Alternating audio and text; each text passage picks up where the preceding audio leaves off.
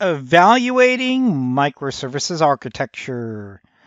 Well, you can certainly be assured you'll likely see something on microservices on the exam. Matter of fact, probably a few things.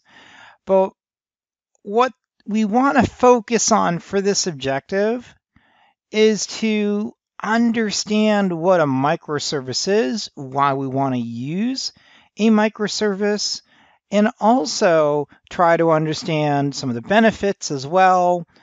So we'll go ahead and talk about microservices now. We'll go ahead over to a whiteboard after this, and then there'll be some test tips on microservices as well.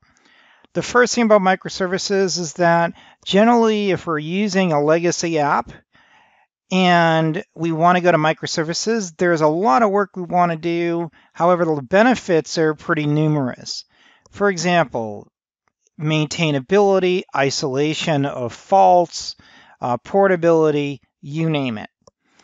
But microservices is really an architecture. And if we go from legacy to microservices, we're changing our architecture for our application. And if we think about it from a design perspective, it's really a different way of thinking because generally applications 20 years ago, for example, were designed to be a box. They're all in the box.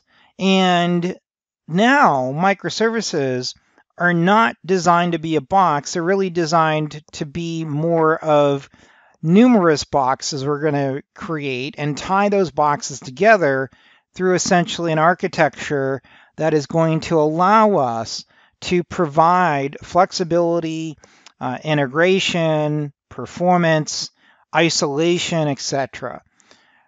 But with that said, we want to know, first of all, what microservices are. And the next thing we want to do is realize that there are some benefits of microservices as well. For example, they're simple to deploy and understand in most cases. They're reusable, faster isolation if there's an issue. In a legacy app, traditionally, if we had a query service, for example, that query service was tied not only to the user application, but it was also tied to the database. And all the plugs and um, coding in the background had everything pretty much as one application in the old days.